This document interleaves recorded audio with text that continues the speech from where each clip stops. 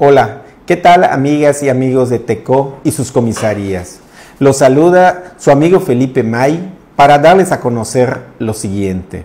Bajo ningún motivo pondría en riesgo la salud de la población si supiera que hay un caso confirmado de coronavirus COVID-19, por lo mismo, con toda confianza se hizo un programa social donde aproximadamente 1.500 familias se vieron beneficiadas con la compra de pollo fresco a 10 pesos el kilo. Esto se hizo de manera organizada, respetando el protocolo de sana distancia, pero sobre todo con la seguridad de que no existe hasta el día de hoy un solo caso confirmado de coronavirus o COVID-19.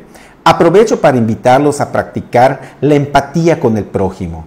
He recibido comentarios negativos, el por qué se han permitido el acceso a gente que viene de fuera para comprar cubrebocas a la fábrica Indepsa. Estas personas solo tienen acceso por la entrada principal y por la misma se retiran. No realizan otro acto más que abastecerse de material hospitalario. Todos estamos en la misma situación. Imagínense por un momento que fuéramos nosotros los que lo necesitáramos y no los nieguen.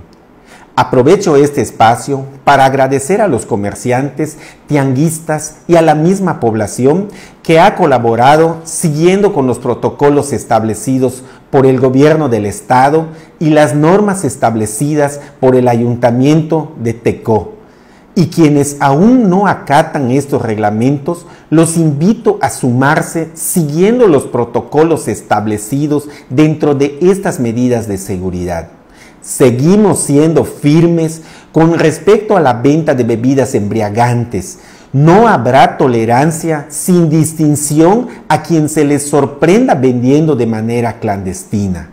Por otro lado, quiero mencionar el mal uso que hoy en día se le da a las redes sociales, en donde cualquiera puede ofender, divulgar o reproducir contenido ofensivo, excusándose de publicar algo de manera anónima. Hago una invitación a toda la sociedad de no compartir información de dudosa procedencia, es mejor seguir la información de esta página donde estaré dando a conocer oportunamente todo lo relacionado a esta pandemia, cumpliendo con los procesos y los tiempos. Muchas gracias y hasta luego. Apreciados habitantes de la Villa de Tecó y sus comisarías, me dirijo a ustedes por este medio para hacer de su conocimiento lo siguiente. El día de ayer estuvieron circulando diferentes audios subieron en páginas de Face noticias alarmantes sobre el estado de salud de una fémina, donde aseguraban ser portadora de coronavirus y que su estado de salud era crítico. Quiero aclarar que esta persona es una mujer de 36 años que se encuentra en su casa recuperando su salud, que sí había presentado calentura, tos y otros malestares propios de una infección, pero no es positiva al COVID-19.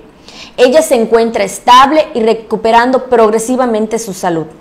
Sin embargo, debo mencionar que toda esta situación la ha dañado moralmente, tanto a ella como a sus familiares, donde incluso han recibido amenazas y han sufrido discriminación. Por favor, evitemos hacer noticias falsas en páginas que no dan el nombre de sus creadores y están llenas también de perfiles falsos. Se está dando un seguimiento generalizado al COVID-19 por las instituciones de salud oficiales y esas noticias son las que debemos prestar atención. Como regidora de salud he estado muy pendiente y atenta de todas las indicaciones y reuniones a las que se nos ha convocado por la seriedad del tema. Junto con mi departamento estoy muy pendiente de llevar a cabo las acciones necesarias. Estamos en las semanas de más cuidado y créanme, en Teco y sus comisarías vamos a luchar para salir bien. Por eso hemos tomado las medidas que muchos han tenido la oportunidad de ver y vivir personalmente. La principal es tratar de quedarse en casa. Eso es lo más importante, salir solo a lo indispensable y lavarse las manos constantemente por al menos 10 segundos. Sabemos que la economía está muy difícil, pero los queremos a todos con salud y vida. Ayúdenos a lograrlo. Lo material se puede recuperar, pero la vida no. Teco y sus comisarías somos una gran familia. Luchemos juntos para superar esta difícil situación. Muchas gracias.